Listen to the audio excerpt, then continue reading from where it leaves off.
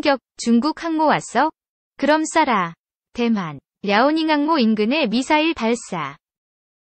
중국의 대만 포위 군사훈련에 핵 추진 잠수함을 거느린 항공모함 전단이 가세했다고 중국 관영 매체 글로벌타임스가 5일 보도했다. 이 매체는 중국 인민해방군 해군 군사학술연구소 장진서 연구원을 인용해 인민해방군이 이번 대만 주변 훈련에서 해상 입체 작전 체계를 구축하며 첫 항모 전단 억지 훈련에 나섰다. 며 이같이 전했다.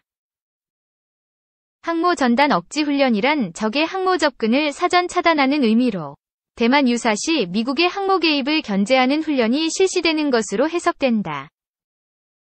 장 연구원은 통상 항모 임무에는 핵추진 잠수함이 동행한다. 며 최소 한 척의 핵추진 잠수함이 이번 훈련에 참여했다. 고 덧붙였다. 중국은 랴오닝함과 산둥함 등 두 척의 항모를 운용하고 있으며 지난 6월 세 번째 항공모함 푸제남을 진수했다. 장 연구원은 그러나 어떤 항모가 훈련에 참여했는지에 대해서는 언급하지 않았다.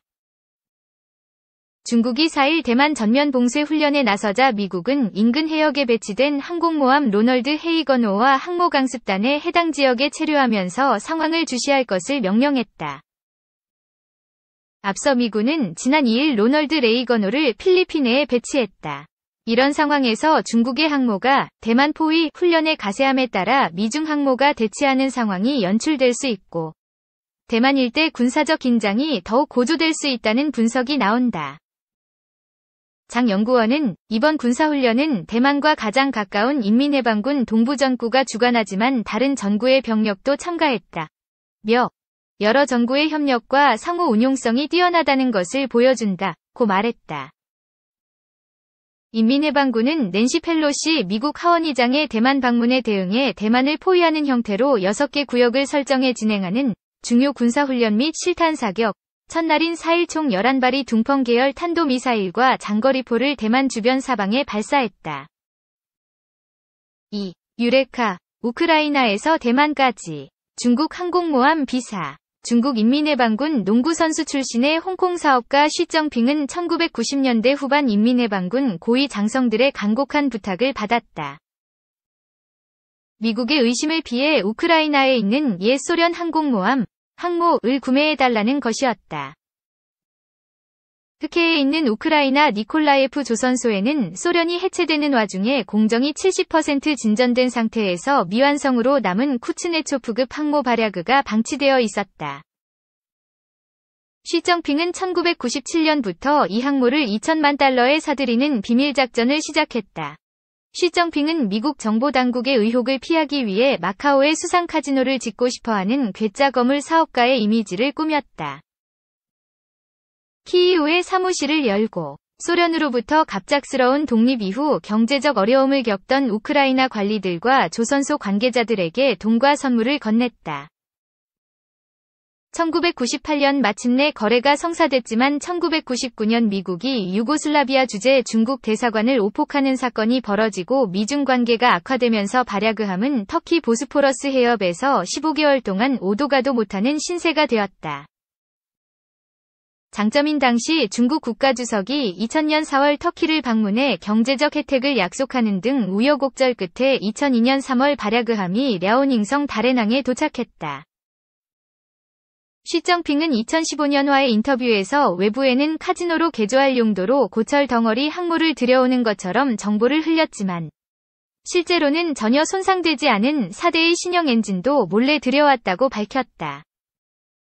중국 당국은 발야그함을 바로 개조하지 않고 관련 연구를 하면서 조용히 때를 기다렸다. 미국과 주변 국가의 경계심을 자극하지 않으려는 행보였다. 2008년 미국발 금융위기로 미국의 힘이 약화되었다고 판단한 뒤에야 본격적으로 움직였다. 2009년 4월 후진타오 주석이 정치국 확대회의를 열어 항모 건조 계획을 공식 승인한 뒤 발야그함 개조를 시작해 2012년 중국 첫 항모 랴오닝함으로 탈바꿈시켰다. 2017년에는 두 번째 항모 산둥함을 진수했다.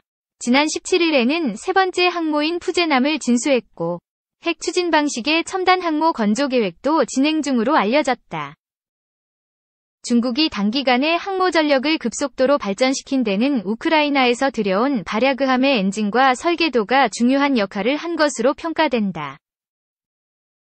중국이 세 번째 항모의 이름을 대만과 마주한 지역인 푸젠으로 붙인 것은 대만을 겨냥한 경고로 여겨진다.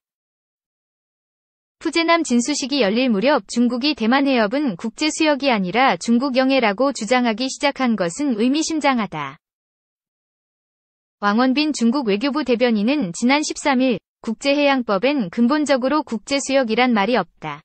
면서 관련 국가들이 대만 해협을 국제수역이라 주장하는 것은 대만 문제에 개입해 중국의 주권을 위협하려는 것이라고 했다.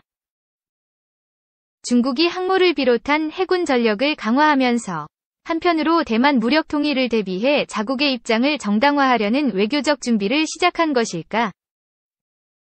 러시아의 우크라이나 침공으로 불확실성이 짙어진 시대에 동아시아에서도 전쟁과 평화의 고민이 깊어졌다.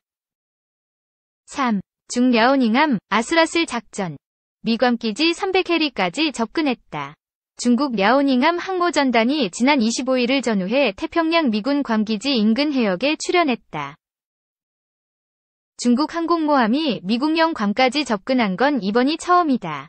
대만의 대규모 군사 원조를 포함한 미국 국방수권법 통과에 대한 반발 조치로 풀이된다. 중국은 일본, 대만에 이어 미국에 대해서도 강도 높은 무력 시위를 이어가고 있다. 중국 관영 글로벌 타임스는 서태평양에서 훈련 중인 랴오닝함 항모전단이 미 핵심 군사기지인 괌 인근을 항해하는 모습이 처음으로 포착됐다고 30일 보도했다. 랴오닝함을 비롯한 55형 구축함, 052D형 구축함, 054A 형 호위함, 901형 종합보급함 등 항모전단 6척이 기동했다. 일본 방위성에 따르면 항모전단은 괌에서 300해리 떨어진 해역까지 근접했다. 영해는 12해리, 경제적 주권이 미치는 수역인 베타적 경제수역은 200해리다. 랴오닝함의 경우 전투 반경은 400에서 500해리로 평가되고 있다. 탑재 전투기인 젠, 제2, 마이너스 15의 경우 공격 반경은 600해리다. 중국군이 랴오닝함의 전투거리와 국제법을 감안해 접근 반경을 잡은 것으로 추정된다. 항모전단은 지난 23에서 25일 서태평양을 남하해 괌 서쪽 해상에 도착한 뒤 동쪽으로 회항했으며 26일 대만 동쪽 해안으로 돌아왔다. 23일 미 바이든 대통령이 대만의 최대 100억 달러의 안보 지원과 무기 조달 등을 포함한 2023 회계연도 미 국방수권법에 서명한 날이다. 항모전단은 미국이 대만 군사 지원을 공식 승인한 날 괌으로 향하는 작전에 들어간 셈이다.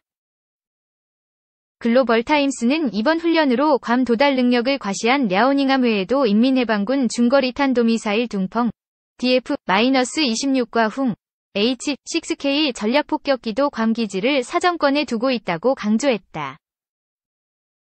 승중핑, 송충평 군사평론가는 글로벌 타임스와 인터뷰에서 이번 랴오닝함의 훈련은 본토에서 멀리 떨어진 해상에 대한 통제 능력을 강화하기 위한 것이라며 미군이 본토를 공격하거나 대만 문제에 개입하지 않는 한 중국이 괌 미군 기지를 공격하는 일은 없겠지만 잠재적인 미국의 도발에 대한 억지력이 필요하다고 말했다.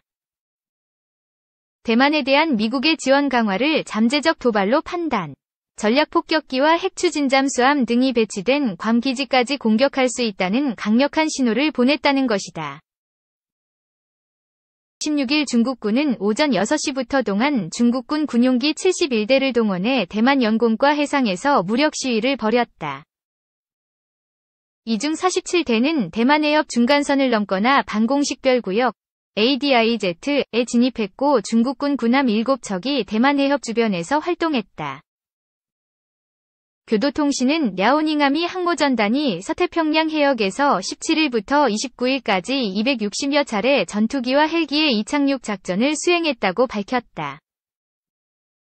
앞서 항모전단은 일본이 반격 능력 보유를 선언한 지난 16일에도 일본 오키나와 해역을 지나 태평양으로 기동했다.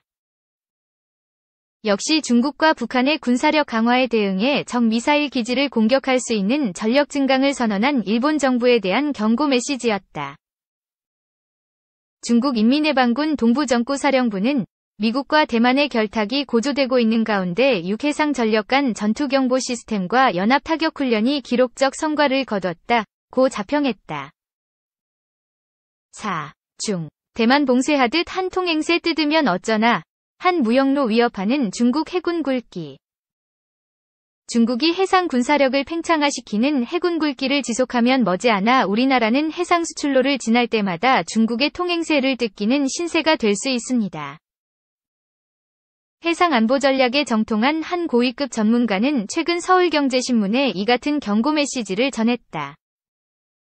최근 중국이 대만을 포위하는 사실상 해상봉쇄 훈련을 한 것은 단순히 대만 해협뿐 아니라 한반도 주변 해협, 남중국해 등 인도태평양 지역의 해상로를 언제든지 차단할 수 있다는 것을 과시한 무력 시위라는 것이다.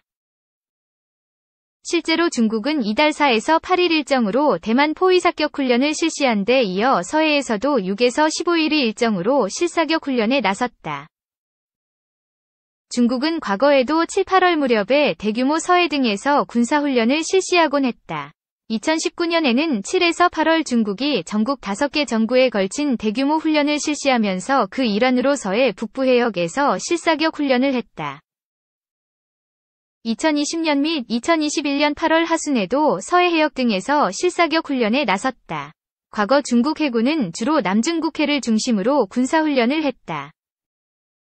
반면 근래에는 점점 서해 쪽으로도 범위를 넓혀 훈련의 규모와 빈도를 늘리고 있다. 우리 군은 중국이 영해 내에서 실시하는 훈련에 대해선 공개적인 언급이나 대응을 자제하고 있다. 만약 중국군의 함정이나 항공기가 서해 지역에서 우리 측 배타적 경제 수역을 비롯한 우리 측 관할 해역으로 넘어올 경우에는 우리 해군도 그에 상응하는 합당한 수준에서 전투함을 보내는 등 일정한 대응 조치를 하고 있다. 다만 우리 측 대응 조치가 중국 측에 유의미한 압박을 주는 데에는 한계가 있는 것으로 전해졌다.